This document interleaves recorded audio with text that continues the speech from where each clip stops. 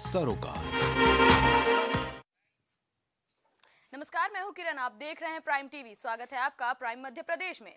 मध्य प्रदेश के पूर्व मुख्यमंत्री कमलनाथ अपने चार दिनों के प्रवास के लिए छिंदवाड़ा पहुँचे, जहाँ उन्होंने आज इमली खेड़ा हवाई पट्टी पर पत्रकारों से चर्चा के दौरान दिग्गजों के मध्य प्रदेश में लोकसभा चुनाव लड़ने पर एक बड़ा बयान दिया। उन्होंने कहा कि पार्टी सभी दिग्गजों से चर्चा कर रही है, जो चुनाव जीतेंगे, उन्हें टिकट दिया जाएगा। हालाँकि अभी ये तय नहीं हुआ है। वहीं पूर्व सीएम कमलनाथ ने आचार्य प्रमोद कृष्णम के प्रधानमंत्री मोदी को दिए गए आमंत्रण को लेकर भी बड़ा बयान दिया। कमलनाथ से प्रमोद कृष्णम के भाजपा में ज्वाइन होने का सवाल किया गया तो उन्होंने कहा कि हर कोई स्वतंत्र है, कोई पार्टी से बंधा हुआ नहीं है।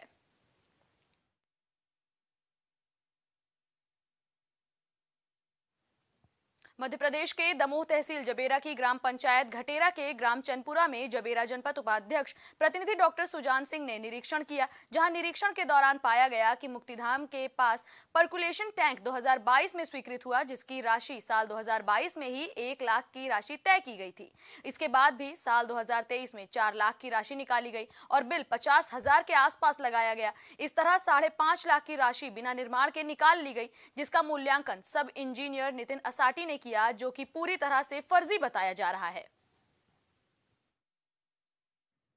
देखिए, यहाँ के लोगों ने बताया ग्राम चनपुरा के, कि हमारे गाँव में परकुलेशन टैंक बना हुआ है शांति धाम के पास में। और उसकी पूरी राशि निकाल ली गई है।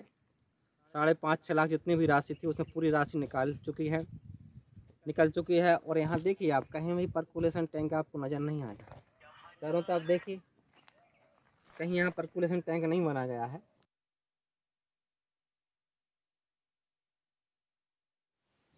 मध्य प्रदेश में दमोह के वनांचल गाँव सादपुर में मुनि विरंजन सागर महाराज ने वनांचल गाँव सातपुर में चल रहे पंच कल्याणक महामहोत्सव के समापन पर विशाल जनसमूह को संबोधित किया। इस दौरान उन्होंने कहा कि जिस सूर्य मंत्र से पाषाण भगवान बन जाता है, वैसे ही सूर्य मंत्र इंसानों के लिए भी ज़रूरी है।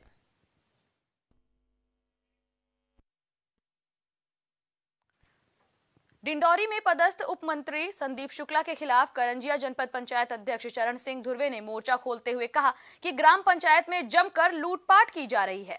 दरअसल उप मंत्री ठेकेदारों की आड़ में भ्रष्टाचार का आरोप लगा रहे हैं। वहीं उप मंत्री की उच्च स्तरीय जाँच होनी चाहिए और बंगला का मूल्यांकन होना चाहिए, जिससे पता चल पाए कि संपत्ति कहाँ से आई।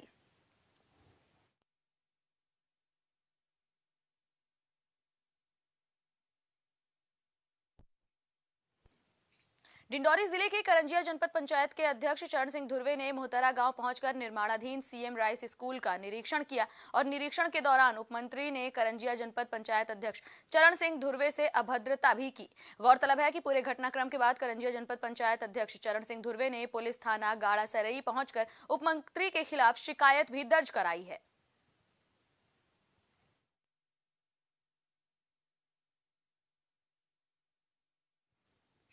ग्वालियर के भवरपुरा थाना क्षेत्र इलाके में मौजूद बंदूक की नोक पर नाबालिग आदिवासी के साथ गैंगरेप का मामला सामने आया है। वहीं इस मामले पर थाटीपुर चौराहे पर मुख्यमंत्री मोहन यादव का पुतला दहन करने की खबर सामने आ रही है, जहाँ योगेश दंडोतिया ने कहा कि जब से मोहन यादव मुख्यमंत्री बने हैं, तब से आदिवासी और दलितों पर अत्याचार हो रहा है। वहीं मीडिया से बातचीत के दौरान उन्होंने कहा कि भंवरपुरा थाना क्षेत्र इलाके में बंदूक की नोक पर एक नाबालिग आदिवासी के साथ गैंगरेप की घटना के आरोपियों के घर तोड़े जाएँ और उनके खिलाफ सख्त कार्रवाई की जाए और उन्हें फांसी की सजा दी जाए। देखिए, मैंने पुतला इसीलिए ध्यान किया था भमरपुरा थाने के अंतर्गत एक दलित आदिवासी महिला का तीन लोगों के नुकट्टे की नोक पर बलात्कार किया गया, तीन लोगों के माध्यम से और बलात्कार के साथ में उसको मारने के लिए फेंक दिए जिसमें रीढ़ की हड्डी फ्रैक्चर हो गई, वो चलने में असमर्थ है, मरने की कगार पर है। और और पतला, पुतला दहन सीएम का तो इसीलिए किया गया था कि जब जब बीजेपी की शासन आता है, तब तब दलितों पे अत्याचार होता है, तब तब अपराध बढ़ता है। ये मैंने मैंने सीएम साहब से ये मांग की थी कि इस लड़की को जो राहत मिले, क्योंकि जिसके परिवार वाले बिखर गए हैं और उसके रीढ़ की हड्डी टूट गई है, अस्पताल में उसका इलाज होना चाहिए और उनके मकान तो टूट ही गए हैं, साथ में उन, उनको फांसी होना चाहिए।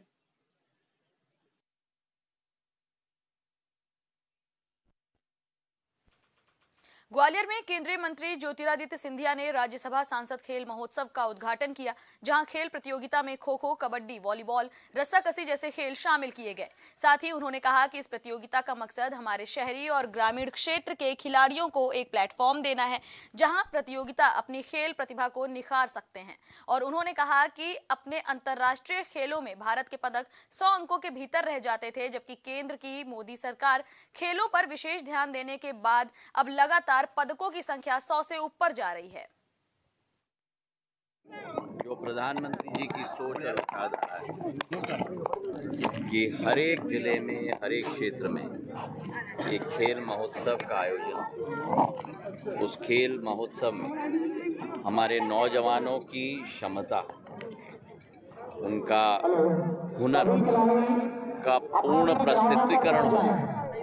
और आज ग्वालियर में जो रस्सा कसी हमने देखी है, कबड्डी देखी है, और अब ये खेल भी हमने देखी हमारी बच्चियाँ, हमारे नौजवान पूर्ण क्षमता से अपने हुनर का प्रदर्शन कर रहे हैं।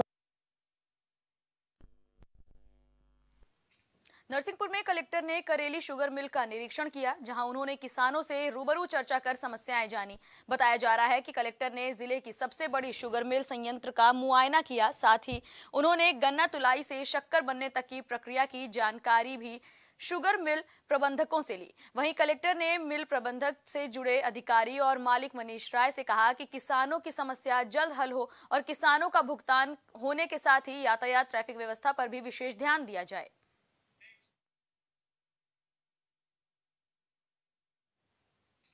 ग्वालियर में केंद्रीय मंत्री ज्योतिरादित्य सिंधिया ने लालकृष्ण आडवाणी को भारत रत्न दिए जाने पर कहा कि आडवाणी के जीवन की तपस्या जन सेवा रही है। आडवाणी का संघर्ष काफ़ी ज़्यादा अमूल्य रहा और आडवाणी का जीवन भारत माता की सेवा को समर्पित रहा और उन्हें भारत रत्न मिलने से वो काफ़ी ज़्यादा खुश हैं। अडवाणी जी की जीवन की तपस्या जन सेवा रही है। अडवाणी जी का जीवन, संघर्ष का जीवन रहा है। अडवाणी जी का जीवन, भारत माता की सेवा का जीवन रहा है। हम सबके सर्वमान्य हैं, सर्वश्रेष्ठ हैं, और आज मन में खुशी और उमंग है कि उन्हें भारत रत्न से सम्मानित किया गया है।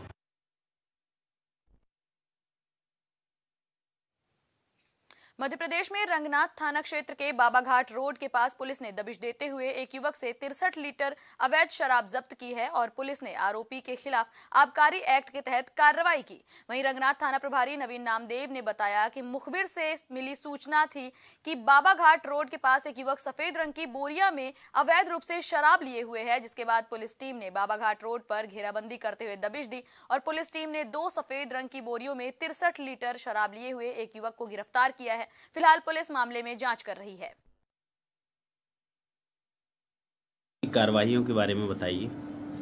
श्रीमान पुलिस अधीक्षक महोदय द्वारा लगातार अपराधों पे अंकुश लगाने के संबंध में हम लोगों को निर्देशित किया जा रहा था।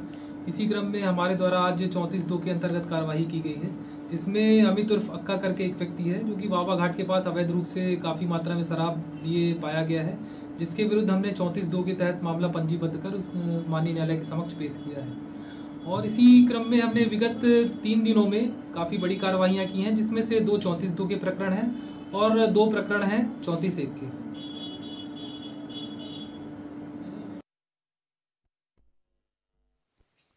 सिवनी ज़िले के बारघाट तहसील में मौजूद सेवा सहकारी समिति मर्यादित ताखला कला के अंतर्गत धान खरीदी केंद्र ताखला से 8 जनवरी से लेकर 19 जनवरी तक ऑफलाइन बिल्टी के माध्यम से 28 ट्रक धान का परिवहन किया गया, लेकिन खरीदी केंद्र से धान वेयर हाउस में जमा ही नहीं किया गया। आरोप है कि धान खरीदी केंद्र ताखला में आठ से लेकर 19 जनवरी तक चार ट्रकों का सामान परिवहन के लिए 28 बार प्रयोग किया गया, जिसके नंबर प्लेट में भी हेराफेरी की गई है। इसके बाद जिला कलेक्टर ने विभागीय अधिकारियों की पाँच सदस्यीय टीम का गठन किया है, जिसके प्रतिवेदन के आधार पर मुख्य तीन आरोपियों के खिलाफ मामला दर्ज किया गया है। फ़िलहाल पुलिस मामले की जाँच पड़ताल कर रही है। एसडी तंतु प्रशासक दाखिला हैं, इन्होंने एक रिपोर्ट लिखाई है उसमें एक जाँच रिपोर्ट संलग्न है, जिसमें सहकारिता विभाग समिति के चार पाँच लोग हैं, उन्होंने जाँच में संयुक्त रूप से जाँच की है। जाँच में पाया है कि आठ हज़ार नौ सौ छत्तीस क्विंटल गेहूँ का जो है उसमें गबन हुआ है, जो स्पॉट पे नहीं मिला है। और इस संबंध में अपराध क्रमांक उनतीस बटे तेईस, धारा चार सौ बीस, चार सौ सड़सठ, चार सौ अड़सठ, चार सौ इकहत्तर, एक सौ बीस बी और छियासठ सी और छियासठ डी आई टी एक्ट के तहत प्रकरण पंजीबद्ध कर दिया गया मसला संज्ञान में आया पच्चीस तारीख को हमें वहाँ के जो प्रशासक हैं कंदुआ जी ने उन्होंने बताया कि कुछ ऐसे ट्रक वहाँ से निकले हैं जो वेयर हाउसेस में या मिलर के यहाँ नहीं पहुँचे। तो इसके लिए उनको हमने निर्देशित किया कि आप इसका प्रतिवेदन दें। उन्होंने प्रतिवेदन छब्बीस तारीख को दिया। उन्होंने अपने प्रतिवेदन में बताया कि लगभग अट्ठाईस ट्रक ऐसे हैं जो या तो वेयर हाउस में या मिलर के यहाँ नहीं पहुँचे हैं। तो उसके बाद कलेक्टर साहब के हमने संज्ञान में लाया। फिर एक टीम बनाई गई कलेक्टर महोदय के द्वारा सत्ताईस तारीख को। उसमें बैंक के दो अधिकारी थे, दो विभाग के अधिकारी थे। उन्होंने जाँच प्रतिवेदन दिया और उसमें जो भी तथ्यात्मक जानकारी आई, उसके आधार पर पुलिस में एफआईआर दर्ज कराई गई है। नरसिंहपुर में कोतवाली क्षेत्र में मौजूद बेलापुरकर वार्ड में दो पक्षों में आपसी विवाद हो गया और आरोपियों को पुलिस ने गिरफ़्तार भी कर लिया है। स्थानीय लोगों की माने तो धार्मिक स्थल में तोड़फोड़ और निर्माण को लेकर काफ़ी दिनों से यहाँ विवाद हो रहा था। एक पक्ष मंदिर को छोटा रूप देना चाहता था तो दूसरा पक्ष उसी तरह उस मंदिर को बनाए रखने पर अड़ा हुआ था। वहीं इस विवाद के बाद मौके पर पहुँचे वरिष्ठ अधिकारियों के निर्देश पर कोतवाली पुलिस ने पहुंचकर सभी को समझाया और दोनों पक्षों को थाना कोतवाली ले गई, जहाँ शिव मंदिर को क्षतिग्रस्त करने वाले आरोपियों को गिरफ़्तार भी किया गया है। हम लोग सब मांग लेके आए हैं सर कि मोहल्ले में 40-50 सालों से मंदिर है भोलेनाथ शंकर भगवान का, जो सभी पूरे मोहल्ला के जल चढ़ाते हैं पूजा पाठ करते हैं, लेडीज़ लेडीज़ वगैरह सभी लोग। कुछ तत्वों ने, तीन आदमियों ने पाँच बजे रात से मंदिर तोड़ना शुरू कर दिया सर। हम लोगों को नौ बजे जब उठे, हम लोगों को पता चला तो पूरा लेंटर पकड़ा दिया था। उसके बाद हम लोग सभी गए वहाँ पर। उनसे हाथ जोड़ा कभी मंदिर को रोक दो तोड़ना। तो वो गाड़ी गनोज करने लगे जो कुछ कर सको कर लो क्योंकि वो खुद मतलब नौकरी पे है इसलिए घटना कहाँ की है? ये रिप्तापुर बेलापुर के बाद बसोरी मोहल्ले की है। और उनका नाम क्या है? अंकित अंकित बागड़ी अच्छा। सुदामा बागड़ी और विनोद बागड़ी। मामला आया है एसपी ऑफ़िस में बकायदा ज्ञापन भी हुआ है। क्या कुछ मामला है? ये मोहल्ला है बेलापुर बाढ़। तो जिसमें जो पीड़ित और आरोपी एक ही पक्ष के हैं, एक ही समुदाय के हैं, वो एक ही जाति के हैं, हिंदू हैं और इसमें जो रिपोर्ट की गई है, उस संबंध में हमने आपराधिक प्रकरण दर्ज कर लिया है और आरोपियों को गिरफ़्तार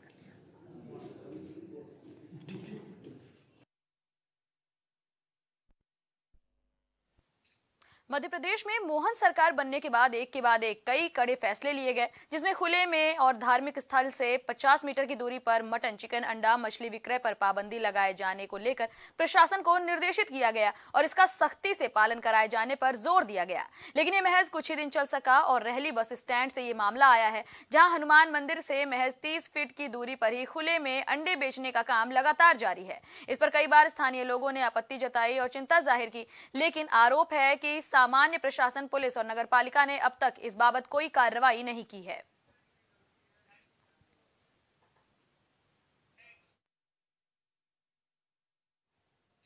छिंदवाड़ा के श्याम टॉकीज में मौजूद एक मकान से पुलिस ने 27 सटोरियों को गिरफ़्तार किया है। इनके पास से सटोरियों का शहर जुलूस निकाला गया और इनके पास से नकदी, मोबाइल सहित कई सामान जब्त किए गए हैं। बताया जा रहा है कि पुलिस कप्तान विनायक वर्मा एएसपी अवधेश प्रताप सिंह के निर्देशन में सीएसपी अजय राणा के नेतृत्व में कोतवाली टीआई उमेश गोहलानी की टीम ने मुखबिर की सूचना पर नरेश सांगवानी नाम के आरोपी को गिरफ़्तार किया था, जहाँ पूछताछ में उसने श्याम टॉकीज में मौजूद एक घर पर, घर की जानकारी दी, जहाँ पर दबिश देने के बाद पुलिस ने 27 सटोरियों को गिरफ़्तार किया है। फ़िलहाल पुलिस मामले की जाँच पड़ताल कर रही है।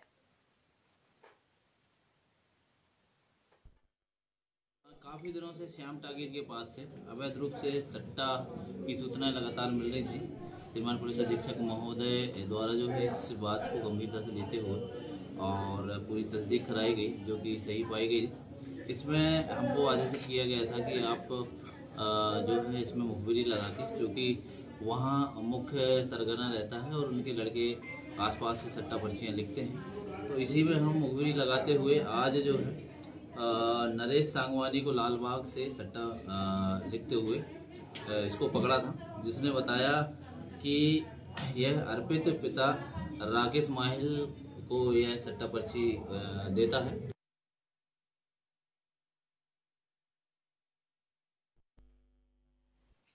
सागर में एक फरियादी ने थाने पर पहुंचकर आत्महत्या का एक मामला दर्ज कराया। इस बाबत पीड़ित ने बताया कि थाना रहली में ये मामला लिख लिया गया है, जहाँ पुलिस ने जाँच के बाद पाया कि मृतक मानसिक रूप से काफ़ी ज़्यादा परेशान था, जिससे उसने आत्महत्या कर ली है।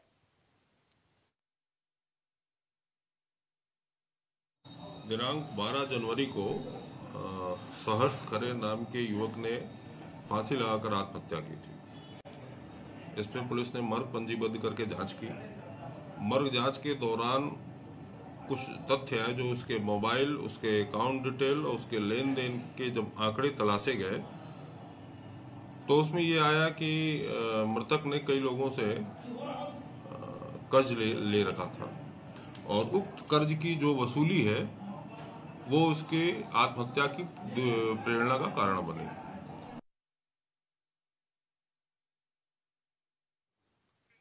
नरसिंहपुर से एक बार फिर हादसे की खबर सामने आई है, जहाँ गोटे गाँव में ट्रैक्टर से टकराने के बाद एक बाइक सवार छात्र की मौके पर ही मौत हो गई। बताया जा रहा है कि छात्र बाइक से सरस्वती स्कूल पढ़ाई के लिए निकला था, जहाँ अचानक बाइक और ट्रैक्टर के बीच जोरदार सामने की भिड़ंत हो गई और मौके पर ही छात्र ने दम तोड़ दिया।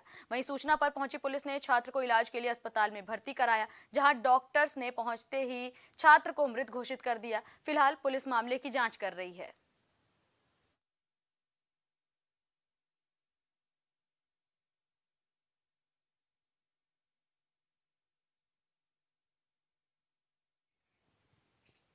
नरसिंहपुर में साली चौका समीपस्थ पोडा चौराहे के पास साई खेड़ा ब्लॉक के अंतर्गत आने वाले डिंगसरा में अफरा तफरी का माहौल देखने को मिला। बताया जा रहा है कि किसी बात को लेकर यहाँ गाँव के एक व्यक्ति के साथ चार लोगों ने मारपीट की वारदात को अंजाम दिया और मौके पर गोली भी चला दी, जिसके बाद आनंद फानन में व्यक्ति के भाई ने नजदीकी अस्पताल में उसे एडमिट कराया, जहाँ डॉक्टर शर्मा ने प्राथमिक उपचार करते हुए गाडरवारा भेजा और फिर जिला अस्पताल नरसिंहपुर के लिए घायल को रेफर कर दिया गया। फ़िलहाल पुलिस मामले की जाँच कर रही है।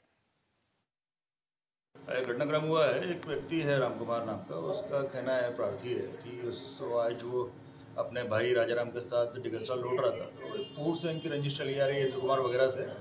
तो रास्ते में इनको रोका है और कासुनी विवाद हुआ तो इसमें इंद्रका के द्वारा इस पर फायर किया गया है जो उसके जांग में लगा है। तो उसकी रिपोर्ट पर अपराध दर्ज किया गया है इंद्र कुमार वगैरह के खिलाफ। घायल को कितनी गोलियाँ लगी? घायल को एक गोली लगी है जांग में है दाइनी जांग में। और सर विवाद के मुख्य जड़ क्या है? पुराना इनका विवाद चला रहा है पुराना रजिस्टर लिया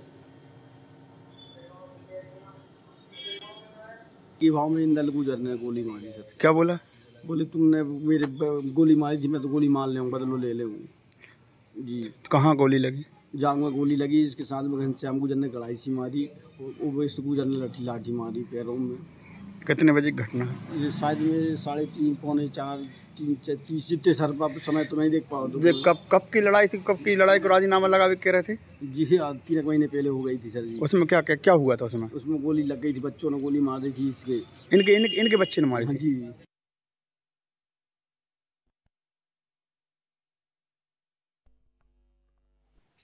फ़िलहाल रुकते हैं एक ब्रेक के लिए। जल्द ही लौटेंगे मध्य प्रदेश की और खबरों के साथ। आप बने रहिए प्राइम टीवी के साथ। कुछ भाव पुष्प। आप देख रहे हैं प्राइम टीवी। सच साहस सरोकार। प्रधानमंत्री श्री नरेंद्र मोदी का संकल्प है कि देश का हर नागरिक पोषित, सशक्त और समर्थ बने, जब पूरा विश्व इस सदी की सबसे बड़ी महामारी कोविड 19 से जूझ रहा था। उस दौरान प्रधानमंत्री श्री नरेंद्र मोदी जी के नेतृत्व में भारत सरकार ने प्रधानमंत्री गरीब कल्याण अन्न योजना का संचालन कर देश के गरीबों की खाद्य सुरक्षा सुनिश्चित की। इसी संवेदनशीलता को जारी रखते हुए आज 80 करोड़ से भी ज़्यादा लोगों को मुफ़्त अनाज दिया जा रहा है। सभी को अनाज, पोषित समाज।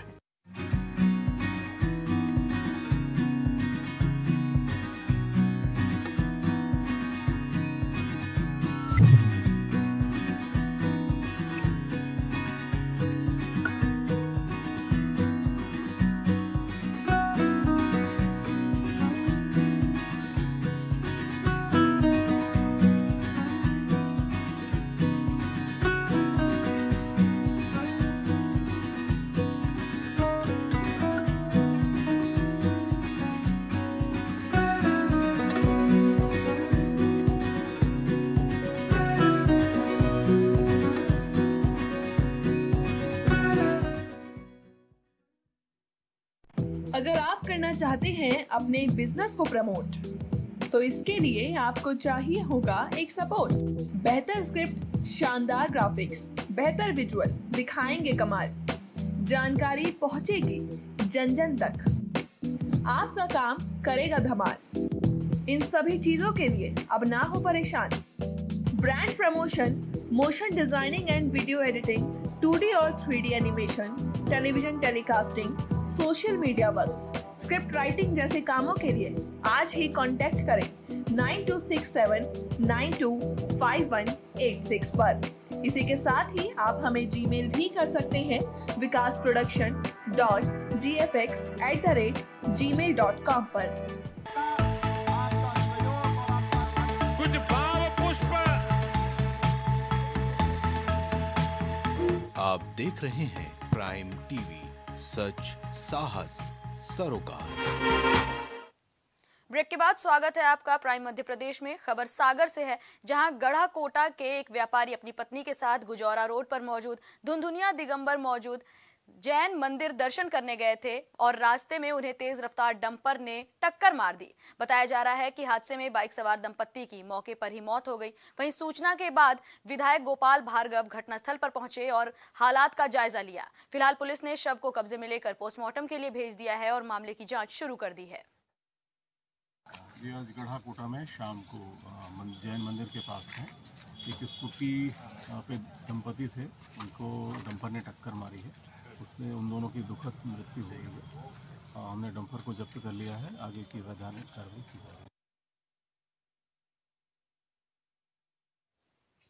सागर ज़िले में मौजूद सागर सिलवानी स्टेट हाईवे जैसीनगर थाना क्षेत्र के हिंदखेड़ा गाँव में देर शाम यात्री बस और डंपर में आमने सामने की टक्कर हो गई और बताया जा रहा है कि टक्कर इतनी जोरदार थी कि बस का आगे का हिस्सा पूरी तरह से क्षतिग्रस्त हो गया। साथ ही बस में सवार लगभग दो दर्जन से ज़्यादा यात्री गंभीर रूप से घायल हो गए।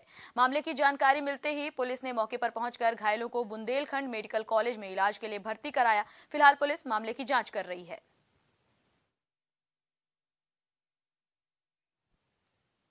सागर ज़िले में जैसी नगर के हिन्नखेड़ा के पास हुए बस और डंपर की भिड़ंत में दो दर्जन से ज़्यादा यात्री घायल हुए हैं, जहाँ इस घटना में दो लोगों की मौत की खबर अब सामने आ रही है। वहीं मौके पर पहुँचे मंत्री गोविंद सिंह राजपूत ने घायलों का हालचाल अस्पताल पहुंचकर जाना।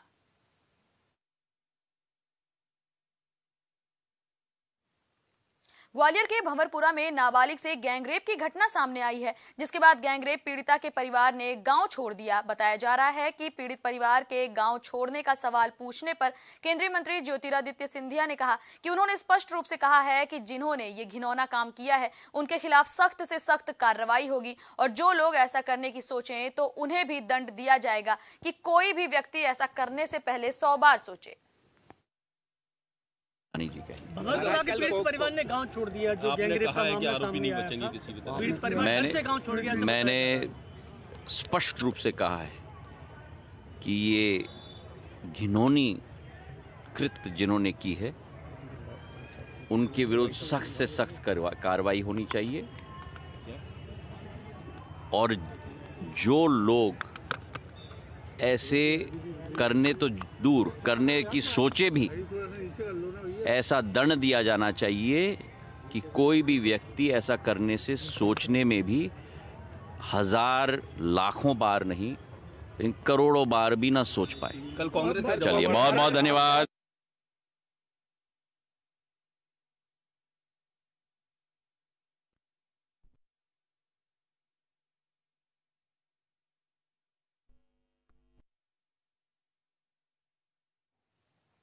ग्वालियर ज़िले के डबरा थाना क्षेत्र में पुरानी रंजिश के चलते एक युवक की गोली मारकर हत्या कर दी गई। बताया जा रहा है कि दो युवकों के बीच दो दिन पहले मारपीट हुई थी। इस बात को लेकर बीती रात घर जाकर संदीप यादव पर हमलावर पक्ष ने गोली चला दी और गोली चलने से संदीप यादव की कार में भी गोलियों के निशान देखने को मिले।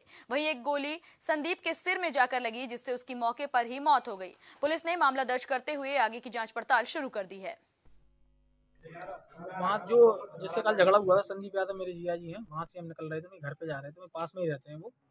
और उधर की जहाँ उसको जिससे झगड़ा हुआ था उनका घर है जो वहाँ से गोली चलने लगी। वहीं से गोली चली है उन्होंने कुछ पूछा ना करा पता नहीं। कौन सी जगह है? घटना स्थल कौन सी जगह है? वो मैं इधर का नहीं हूँ जगह नहीं पता स्पॉट बता सकता हूँ। अच्छा जिसने गोली चलाई उनको जानते हो क्या आप? हाँ, वो जिससे झगड़ा हुआ ये है उसी ने चलाई गोली वहीं उन्हीं के घर से गोली चल रही है। क्या इनके घर उनके घर के पास पास है क्या? हाँ उसी गली में है आस पास आगे पीछे की साइड में कितनी लोगों को लगी है गोली क्या कुछ? गोली एक कोई लगी है इसको ये आपके कौन है? मेरा दोस्त फ़िलहाल प्राइम मध्य प्रदेश में इतना ही। देश दुनिया से जुड़ी तमाम खबरों के लिए बने रहिए प्राइम टीवी के साथ।